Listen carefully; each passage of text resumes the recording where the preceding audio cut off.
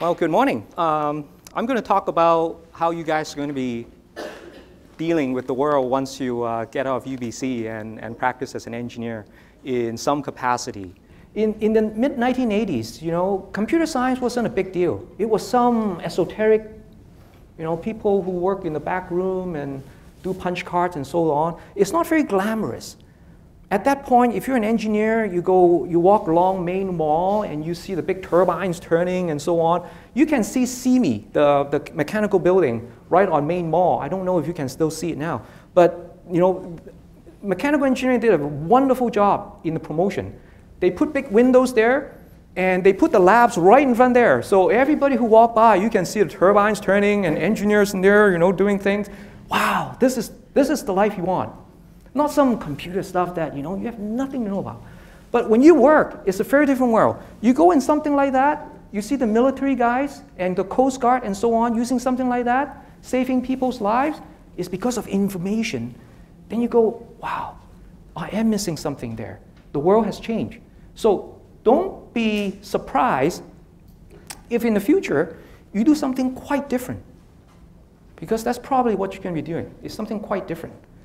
But what you're learning now is going to be the foundation of how you build new knowledge and new skills.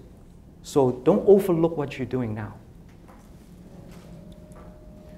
My third job, I decided to come back to my hometown, Vancouver here, and uh, I work for a company called MDA, MacDonald Dettwiler Associate. And these are the guys who put the uh, space, um, not the space station, but the uh, robot arm into space shuttles and all that. So I was doing a little bit of that. Uh, Earth observation using uh, the latest in laser technology to, to scan the Earth, to build stereoscopic images and so on for different countries. So more data processing, more computer science. That's my evolution of my career for the first 10 years. And then after 10 years, I was a senior engineer and I quit. That was a hard decision. You know, my parents and everybody was saying that, you know, Patrick, you're such a such an idiot. You got you got a senior engineering position, you have 10 years solid experience. You you got your life, you know, right in front of you. All all planned. You know, you can work till retirement and you be all set. I go exactly, and that's why I want to change, because I don't want that. That's not what I want. So I strike out on my own. As you can see, I used to slide off somebody's dirt bike. It's, uh, it's, it's rough. You know, it's not, it's not on, the, on the paved highway. It's rough and tumble. You want to start out as an entrepreneur? Uh, well, you become an entrepreneur. So the next big thing what was my next big thing after 10 years? That was about 20 years ago. And I decided that, well, you know, in the 10 years I've been working, I see people getting fired. I see people getting promoted quickly. And I go, why? Those are both engineers or computer science or whatever, technical people, competent technical people. And yet one would be let go. The other one would rise through the ranks quickly. And it turns out to be one thing, and that's how you communicate and your attitude towards your work. So it is all in your head. Your success and your failure is going to be all in your head. What you're learning now is, like I said, the foundation. Without that, you wouldn't even be able to get into the door of what you want to do. But that's a given. Like your associate dean Dr. Croft was saying that that's personal hygiene. It's a must. Without this, you won't go anywhere. But is it enough? No, it's not enough. Corporate people skills. You'll be surprised how inadequate a lot of us are, especially in the technical field, uh, us uh, gearheads. Do you still call them gearheads? No, I guess not. In my days, we call them gearheads. Um, engineers, we are probably the worst off bunch of all professionals because we don't get that kind of training. You guys have a lot on your plate. Your coming up year, third year is going to be the big one if The curriculum is about the same as when I was here. Um, technical stuff, important technical stuff, but if you are not aware of something like this, you will be shortchanging yourself into a lot of opportunities that you miss. You don't know what you don't know. That's the problem. Is do you know how much of your shirt sleeve is supposed to stick out from your from your jacket? If you're if you're a lady, how high should your high heel be? What kind of high heel shoes should you wear? Pumps? Uh, what's the other ones? Uh, slings? Uh, open toes? How do you wear? How long should your skirt be? Or should you, wear, should you not wear skirt but pants? You think those are not important? That can make or kill your career on top of your technical skills. So, my talk today is uh, going to be very brief because I only get a few minutes here. I'm going to talk about what you're going to run into. It's going to be between countries. You're going to deal with other countries, no doubt. You work for a company now, we are all multinationals. We're all over the map. That's how you do business nowadays. There's no single company who wants to survive in this world would be saying, I'm Canadian and I only deal with Canadian stuff or Canadian customers. They can do that, but they won't last very long. Second is engineers and others. How do you deal with other culture? And I'm talking about somebody from uh, Africa or, or wherever. We're talking about people who speak English, but they are not engineers. That's a different culture, believe it or not. And some of the solutions, what you can do, and so on. So, what is intercultural communication? What does it really mean? Between countries? Sure.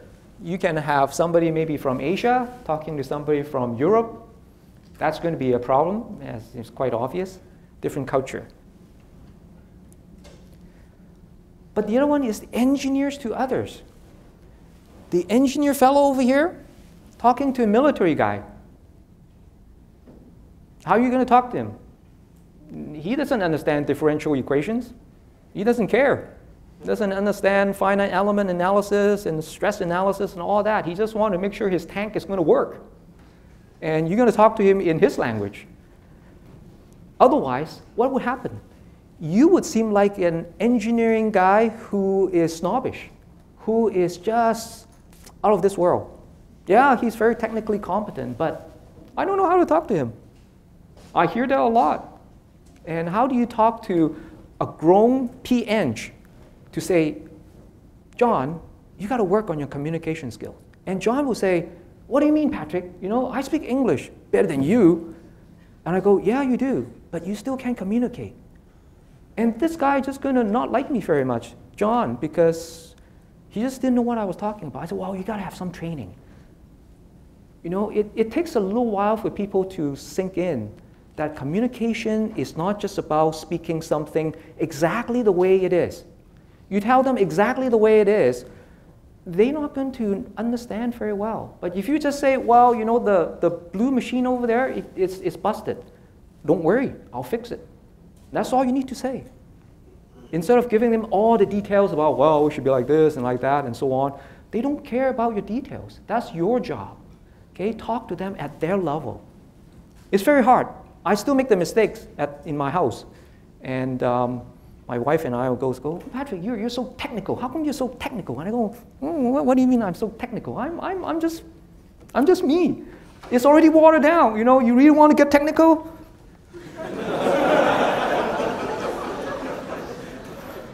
um, it, it, doesn't work with most people, okay? We're, we're a very special bunch. And uh, you want people to like engineers, you got to be likable. This is the big one. Number one and number two combine. So it's like wave, you got superpositioning, one wave over another, and you got a big hump there, and, and you got a big problem here. You got a CEO from India. You, the Canadian engineer in the middle there. And somebody from Africa. She's the marketing person. Now, are we talking about the same company? If it is, you as an engineer may have a chance of succeeding because uh, even if you screw up a little bit, people forgive you. Wow, we are the same company and so on. What if the CEO is a buyer? What if the lady here from Africa, Kenya, is, uh, is a seller? There are 50 million cell phone users now in mid Africa. You think you can tap into that market? Sure, you can.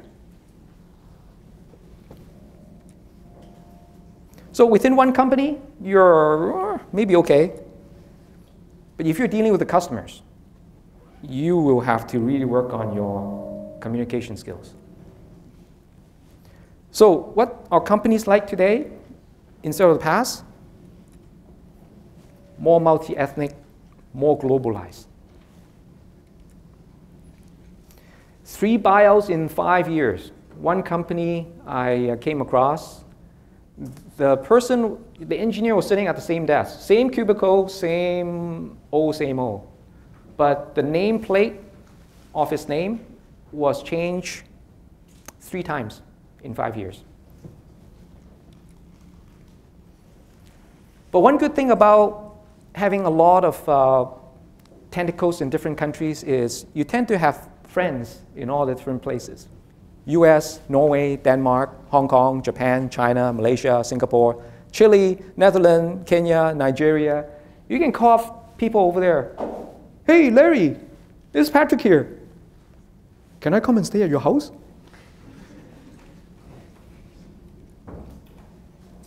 Issue number one some of the problems. What is this? Center of the universe. We all think that we are the center. UBC, mechanical engineering, second year. We all think that other people should think like us. They don't. We reject foreign cultures. I'm not just talking about people from China or somewhere. We reject other people. Oh, those are the commerce guys. Well, that, the reason why they're in commerce because they can't hack calculus. That's what probably some of you would think. Don't think like that. Someday they could be your boss.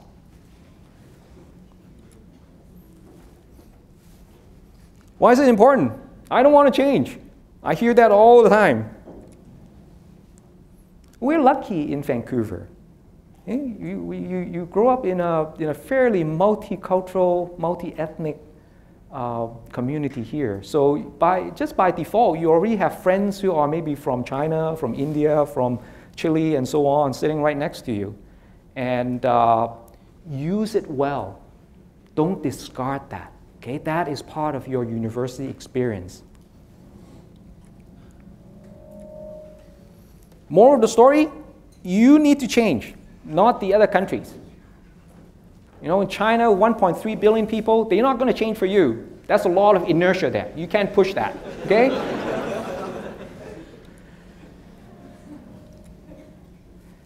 Example, time zone. I was working in uh, the high-tech area in California, and we see that all the time. Manager said, well, you know, let's meet at 12 o'clock noon, California time. It's uh, 4 o'clock in the morning in Mumbai.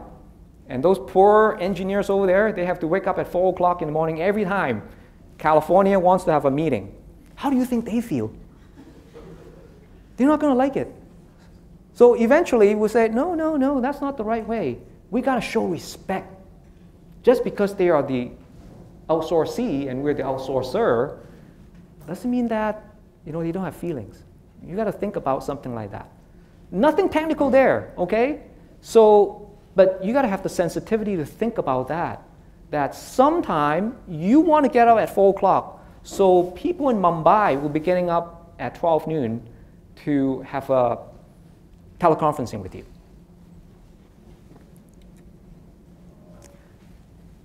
Uh, oh, don't worry, it's not going to get any worse. Uh, let the poor man and poor woman speak, okay? Um, a lot of time we here in North America, we tend to do more speaking than listening. I know I fall into that a lot. And that becomes a big issue. one other time I was in Japan, and uh, the reason why I was there was because they want to have FaceTime. They want to see me. They don't, they don't just want an email saying this and that. And all I said was, um, well, you know, with all due respect, let them speak. Let your people speak. They have a culture of top down. Japan is a very engineering oriented group. And they would go, well, they listen to the fatherly figure on top. But unfortunately, most of the people with ideas are, are young people like yourself. Those are the young engineers sitting in the room. They are all very compliant, very, very quiet. They have great ideas, but they, they don't, they're not heard. So my job as a corporate consultant would be, with all due respect, let the people speak. And then I be quiet myself and let the rest take over. What are these women doing? They are probably the, some of the best engineers if they ever decide to be engineers. Because you know, you know what? This woman is pouring her heart out. And the other two, they are all ears, they're all listening there. Right? Listen, listen, listen. Okay? And you should also pour out your heart. You know, you really believe in certain things. Well, instead of building a power plant over by over here, we should build it over here. Let people know. That's where you add value. Number two, we are egotistical. Yes, we are. We believe we are the superhero. We are going to drop in, parachute in, and save the day. Those days are long gone. Okay? And uh, you will be working in a team. And if anything that is going to be accomplished by you is a team effort, don't forget, it's a team effort.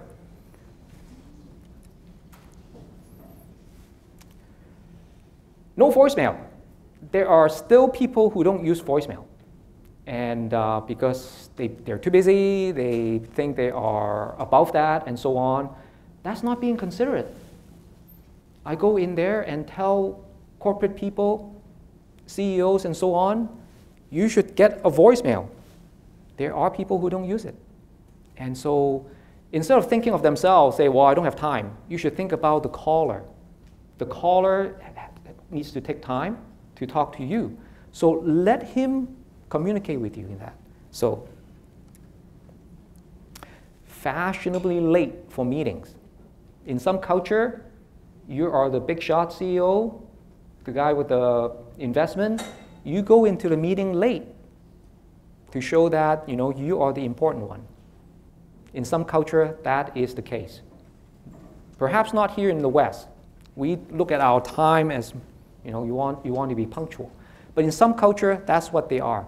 And if you take offense, you be shortchanging yourself. They are relational based people. They are not transactional based people like us. We deal something, finish, do something else. Boop, boop, boop, boop, boop, boop, boop, boop. No. They look at things as a very network kind of relationship. It's long term. So I went to some countries, they say, oh, well, Patrick, oh, he's from Canada. Oh, well, wait. So I wait. It could be half an hour.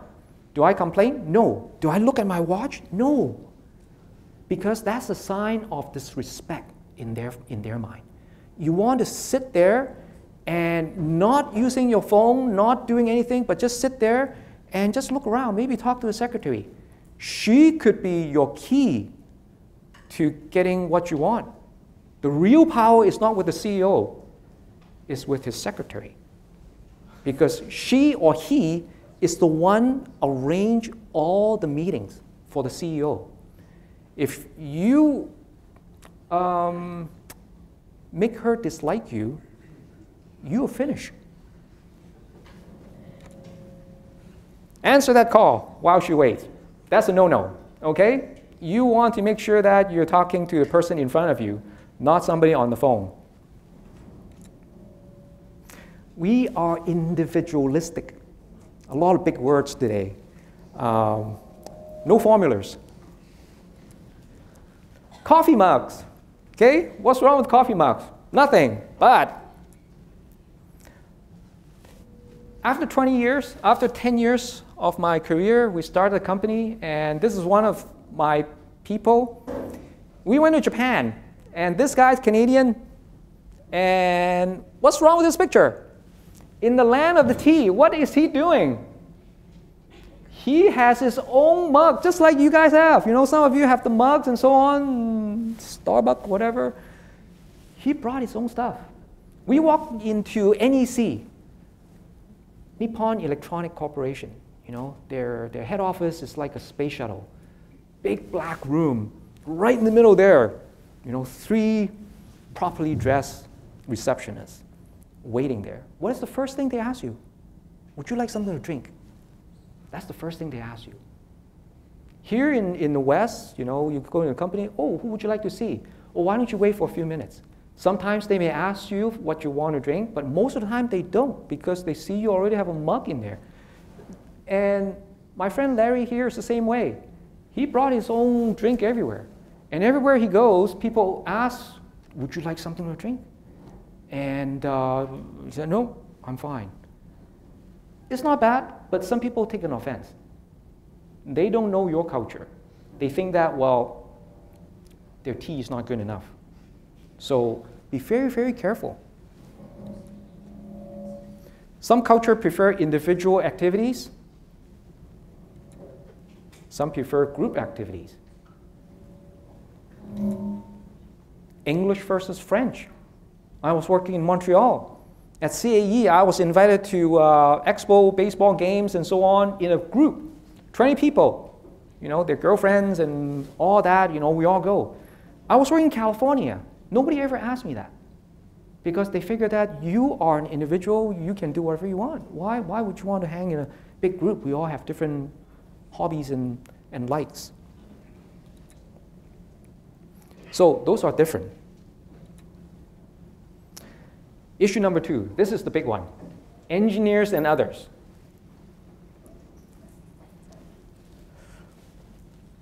Why would North American culture fail engineers and in turn fail themselves? You guys are going to be the keeper of the profession. And this is an issue that's going to affect your livelihood and your pocketbook in a big way. Two words Geek Squad. You guys know what Geek Squad is? I think they are, uh, they are some kind of uh, computer repair and diagnostic uh, with uh, Best Buy, something like that. Yeah? Uh, Future Shop. Yeah. So now, don't get me wrong. Geek Squad is a very, very good name. It plays on a lot of the nuances of our culture, right? But what's wrong with the word Geek Squad? Fewer engineers make it to the CEO position in North America than other professions. If you're a bean counter, you may have more chance of becoming CEO than, than an engineer. That's unfortunate. And you guys are going to go out there and change that. The reason being is Geek Squad. What's, what does it imply? You know, there's, there's, it's just not a very good term to describe engineers and technical people. It's, um, self-deprecating in, in many ways. So be very, very careful of how you present your image out there. You never hear people call doctors or lawyers geeks. How many times do you think people get called a geek if you're, if you're good in computers or good in math or science or engineering? Why is it so unfair? Don't, don't take it lying down. It's your livelihood there. Salaries of engineers are falling behind doctors and lawyers. It didn't used to be like that because engineers were well respected. But over the years, something happened there. What is the engineering culture? I don't want to play politics at work. I just want to do the technical stuff. I hear that over and over and over again with absolutely brilliant engineers. And uh, they turn out to shortchange themselves when they think like that. Don't think like that. Politics is not a dirty word. We think of ourselves as the smart one. Yes, you are. You're UBC engineers. You know, it's a given. You're all smart. You don't have to go and prove it over and over again. Okay? You don't. So, what do engineers need to change all that? Lead from their position, not yours. Like I said, you know, if a plumber's talk to you, well, you know, those things over there is not working. Well, yeah, you figure it out. You don't have to tell them that there's cavitation and all that. It's just not needed. Okay? Losing your audience to show your brilliance is not it. It's not a show of force. Must change to one of being approachable. You go, oh my gosh, you know, how, how, how, how do you mean by approachable? Yeah, I'm approachable. You know, I open my door, everybody can come in, and so on.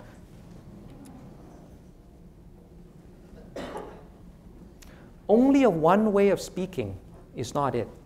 If you only speak in terms of technology, that may not do it. In my email nowadays, I have two sections. One section is just the gist of it, you know, what you need to do and so on for everybody marketing people, graphics, uh, computer, uh, agents, even customers, and so on.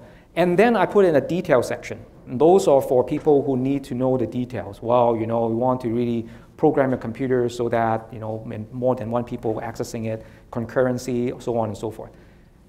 Make it separate. So people who want to read something like that, they can, but not everybody. Ignoring office politics. Office politics is culture. Some people play politics in your mind, but that's their culture. Get used to it. Don't deny it. Don't ignore it. Gift giving, is that sucking up? No. It's a sign of respect. It's a sign of respect that you appreciate what they're doing. You know, they're the CEO. They fought hard in their career to become the CEO. They have gone through things that you could never imagine. Being sued, for example, and winning or losing. Those are the stuff that we technical people don't appreciate, and we should. Dressing as you please, definitely not it. I hear that all the time. Company put in dress code, you have to wear a tie. What do brilliant engineers do? They wear a tie that looks like a fish as a sign of protest. That's bad attitude. You know, you could be the most brilliant engineers, but you're going to be the one who's going to be let go because you don't, you don't understand the company culture that they want. Okay? Play their game, not play your game. In other words, you want to work on your image. Engineers have a fairly, fairly poor image. I walk down Main Mall. You see what all the people from business are doing? They walk out, they all dress like me. Why? Because they deal with customers, they deal with the world. You want to deal with the world? You got to let the world accept you. And dressing is not what you please yourself, it's a sign of respect of others. Example, University of California, where I also went to school. We coach a team or a few teams into how to pitch their ideas to venture capitalists. They're just like you, second, third year, maybe fourth year, and they were building some gizmos and so on, and, and uh, people come in. What is, what is so spectacular with this team? Look at the way how they dress. Look at the way how they stand. Look at their attitude. They are a team. They are unified. You need coaching in that. Okay? It doesn't come naturally. Even deep down, you know your buddies and you're all working there. If you don't behave in certain ways, how do people know that you're really behind each other? They don't know. If you're a lady, you don't have to dress in a suit. You can be looking young, dynamic, energetic, full of ideas, and yet remain professionals. Okay? And uh, low cut dress, don't cut it. Look at this. How do you go to interviews? How do you talk to people? Doesn't he look like a million bucks? Example number two. Example number three. All different ethnic backgrounds, diverse, you can all do it. Now, what is this? This team we didn't coach. What's the problem here? Now, I, I couldn't remember what they were building, but you know, you need to tuck your shirt in. You need to be able to show that you mean business. Okay? If your venture capitalists want to bring you to show you to some bankers, you dress like that, they're going to throw you out. They don't think you're serious. You're just high school kids. Okay? Case number two. Well, this guy's wearing a pretty nice shirt, like mine, but he got to tuck it in. That's a standard code, okay? You're dealing with baby boomers like myself. We're not used to having people having their shirts out. It's just not in our culture. And with the lady there, the jacket is a little bit too small. She needs to work on that.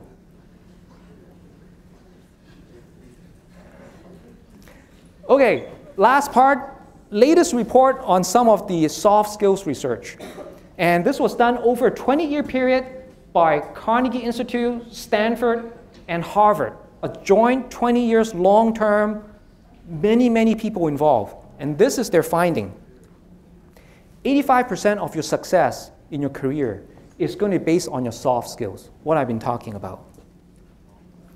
So they were saying that if you spend $100,000 on your hard skills to gain 15% of your success. How much time, effort, and money should you spend on working on your soft skills? That should be the major part of your training. So, this is something important, your mechanical engineering program, but you have a long, long way to become truly successful. Okay? And it's going to be fun. It's not going to be hard. It's going to be fun. It takes the attitude. If you can do calculus, I think in the second year, third year, or first year, you can do soft skills. It's, it's not rocket science, believe me, it's not. So, why is it important? Okay, income. Uh, very simple graph because I use this for non-technical people as well. When you're 30, all the way when you're 60, in terms of age, your income rises, okay? Somebody with soft skill training, the research was, uh, was done, starting at age 30, when, when they got training in a company and so on, this is what they make when they, when they hit 60. So there's a discrepancy there. And if you start earlier, when you're 20, like where you are right now, you start off, when you're 30, you start off even higher already. Doesn't matter what you do. This is, this is all conglomerate uh, statistics, so it's on average. And so you can see, yeah, you'll be able to find a job, you'll be able to do quite well, but if you have that kind, you go to the next level of accomplishment. And my talk is done. I have a lot more to say about this.